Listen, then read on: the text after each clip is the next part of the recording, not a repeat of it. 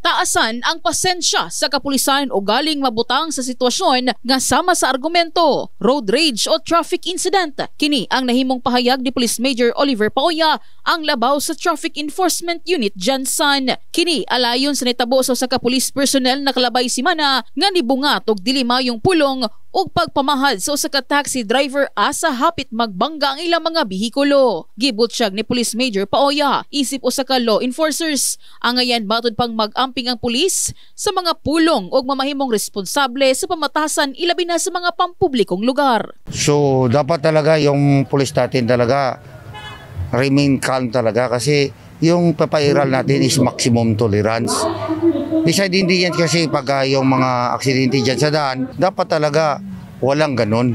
Respeto ug compassion sa trabaho ang angay hinumduman sa kapulisan ug kanunay hunahunaon bisan pa man nakaangkon og sala kanila ang sibilyan. Dapat makita natin na tayong mga kan talaga, mga kapulisan po ay professional talaga ang pagdeal natin sa tao with respect and then with compassion.